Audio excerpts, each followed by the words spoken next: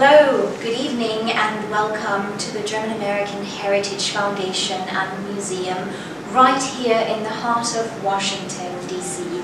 Tonight, we have a very special performance for you. This year, 2020, is the year of Ludwig van Beethoven. It's this musical genius's 250th anniversary, and we want to celebrate this occasion tonight with a tribute concert to the master that celebrates his diversity and the variety of music that he composed. You will be listening to the American virtuosi who will entertain you with selections from Ludwig van Beethoven and we want to especially thank the German Embassy here in Washington DC for their support and collaboration. Thank you very much and I hope you have very enjoyable evening. Thank you.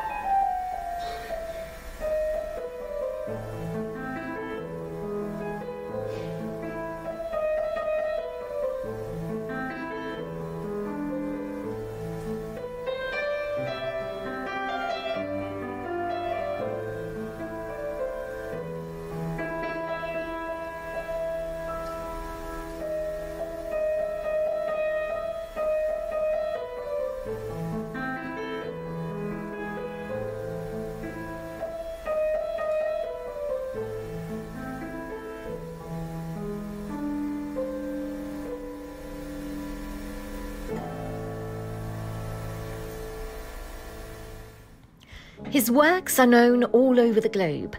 The seemingly simple Bagatelle number 25 in A minor, also known as Für Elise, which we just heard, is one of the most popular piano compositions of all time. His symphonies continue to be played by world class orchestras and remain audience favourites. The work of this giant, whose creations span the transition of the classical period to the Romantic era, is so important that it was selected for NASA's two Voyager probes, demonstrating humanity's greatest achievements. Beethoven's music has also been used to great effect in numerous films, and his Ode to Joy serves as the anthem of the Council of Europe and the European Union. But who was this man whose 250th birthday we are celebrating this year?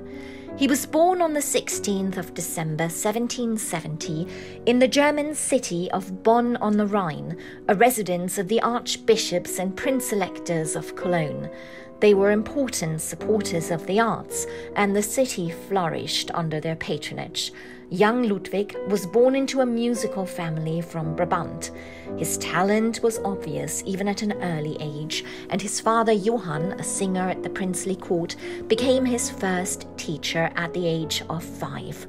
Inspired by Wolfgang Amadeus Mozart's success, Johann unscrupulously promoted his son as a child prodigy and put him through a harsh and intensive regime of musical training that often reduced the boy to tears.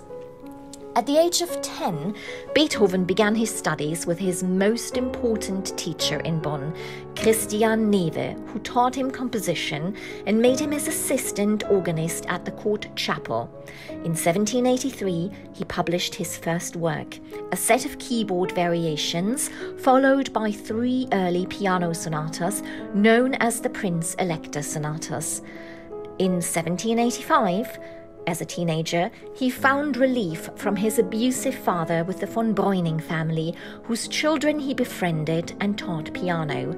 His compositions during that time show a growing range and maturity. In 1790, he received his first commission by the Literary Society in Bonn for one of two Emperor sonatas that were not performed at the time and remained lost until the 1880s when Johannes Brahms described them as Beethoven through and through and prophetic of the style which would mark his music as distinct from the classical tradition. That same year, in 1790, he was introduced to the great classical Austrian composer Joseph Haydn, and after a second meeting in 1792, arrangements were made for the 21 year old to study with Haydn in Vienna. Shortly after Ludwig's arrival, his father died, and in 1794, French troops occupied his birth city, which led to the departure of the Elector's court. With only two brothers left who followed him to Vienna, Ludwig decided to make his stay permanent. Fortunately, several Viennese noblemen had already recognized his abilities and offered him financial support, among them Count von Waldstein and Prince Lobkowitz.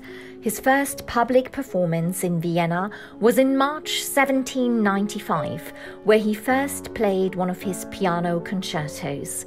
Shortly thereafter, he arranged for the publication of the first of his compositions, to which he assigned an opus number, the three piano trios, opus 1.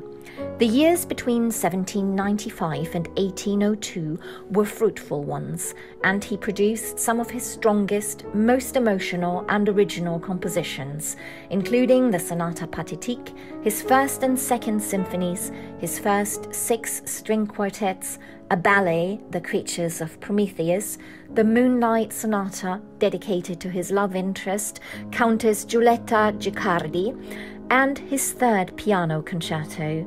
However, starting in 1801, Beethoven's hearing began to gradually decline. Following the advice of his doctor, he moved to Heiligenstadt in 1802 to come to terms with his deteriorating condition. Plagued by thoughts of suicide, he wrote a letter to his brothers, the Heiligenstadt Testament, ultimately recording his resolution to live for and through his art, determined to seize fate by the throat. It shall certainly not crush me completely. When he returned to Vienna, he was a changed man, and this change was reflected in his musical style, marking his heroic period characterized by many original works composed on a grand scale. The Eroica Symphony, based on the rise of Napoleon Bonaparte, written in 1803, incorporated this new style. That same year, Archduke Rudolf of Austria, the youngest son of the emperor, began to study piano and composition with him. They became friends, and Beethoven dedicated some 14 works to this important patron. Other works of this period include the 4th through 8th symphonies, the violin concerto, and Beethoven's only opera, Fidelio, which premiered during the city's French occupation in an almost empty opera house. Nonetheless, in 1810, the writer E.T.A. Hoffmann called him the greatest of what he considered the three romantic composers, that is, ahead of Haydn and Mozart, in Beethoven's Fifth Symphony, his music, so wrote Hoffmann, sets in motion terror, fear, horror, pain, and awakens the infinite yearning that is the essence of Romanticism. In the spring of 1811, Beethoven's health declined, and he became seriously ill, suffering headaches and high fever. His doctor recommended a cure at the spa of Teplitz in the Czech Republic, while there in 1812, he wrote a 10 page unsent love letter to his immortal beloved, whose identity was long a subject of debate and who is now believed to have been Antonia Brentano. The defeat of Napoleon inspired Beethoven to compose again and also led to a much acclaimed revival of Fidelio. In 1818, he wrote the Hammerklavier Sonata, and began work on musical sketches that eventually coalesced into his final Ninth Symphony. He was almost completely deaf by this point, yet he composed a beautiful mass, the Missa Solemnis, for his longtime friend Archduke Rudolf, who had become the Archbishop of Olomouc. The Missa and the Ninth Symphony were both completed in 1823 and premiered in May 1824 at the Kärntnertor Theatre. Beethoven was present, but his deafness had progressed so much that he was unable to hear the roaring applause. His health continued to fail, and in December 1826, illness struck again. Beethoven died on the 26th of March 1827 at the age of 56. His funeral procession three days later was attended by an estimated 10,000 people and included Franz Schubert and the violinist Joseph Mayseder as torchbearers. Although he was initially buried in a different cemetery, his remains were moved to Vienna's Zentralfriedhof in 1888, where they were reinterred in a grave adjacent to that of Schubert.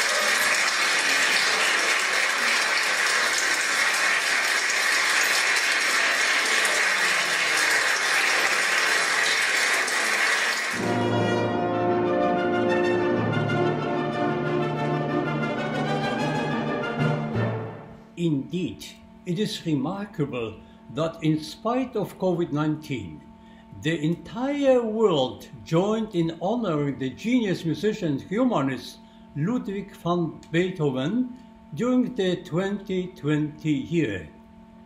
We are pleased and honored to join to prepare this special concert under the auspices of the German American Heritage Foundation, sharing some of Beethoven's most inspiring compositions, which have also served as catalysts for promoting human dignity, freedom, and justice, as well as manifested his immense will and determination for overcoming even most severe handicaps to serve humanity to the arts. Prior to sharing a selection of Beethoven's great composition, let us share with you some of our personal experience of Beethoven, the man and the great genius. In my nearly 50 years of being a concert artist, and nearly as many as an educator, I had many encounters with Beethoven's music, which made me reflect on the uniqueness of his music. My first encounters came, of course, through listening to recordings and realizing that his music is very different and sometimes can be difficult to understand because it is very abstract. My teachers probably felt the same way because the first time I was assigned a work by Beethoven was when I was a student in the Chopin Academy of Music in Warsaw. During that time, I was selected to participate in the International Pablo Casals competition. The mandatory piece in the second round was Sonata number 4 in C major by Beethoven.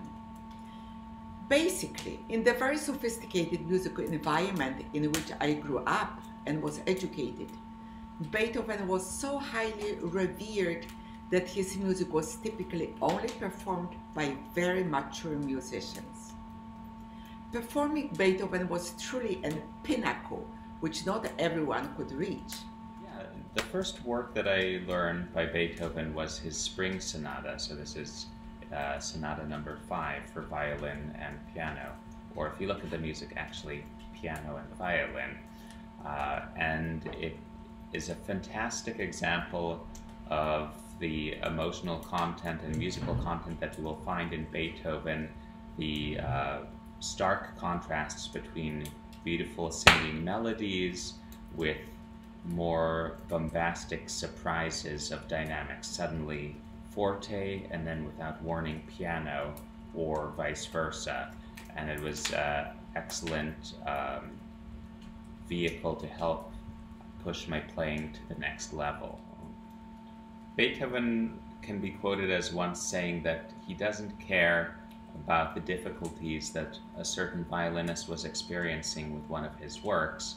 He only cares about the music which he is trying to compose and communicate.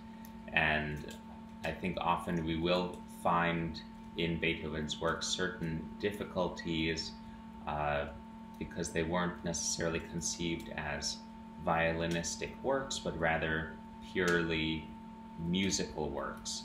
And uh, in addition to that, cer- certain awkwardness that can happen because of that, I think the uh, the sudden, surprising nature of his music can take not only the listener by surprise, but sometimes the performer by surprise as well, until they really become intimately familiar with the music.